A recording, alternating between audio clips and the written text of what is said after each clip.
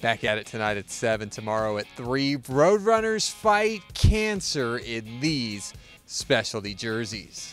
It's awesome. I mean, the guys are excited. Um, you know, we know it's a, it's for a, a, very good and big cause, so the guys are excited about it, and uh, a lot of guys have been affected by it. So, guys are uh, are happy to be uh, supporting it. And all sorts of stuff going on all weekend. Roadrunners Fight Cancer merchandise available in arena only. So check that out before the game or after the game today. Head on over to Dillinger's $5 Roadrunner Reds. And then Sunday, post game, right off of the players' backs, we'll be auctioning off these pink jerseys with all proceeds going to Banner Health's University of Arizona Cancer Center.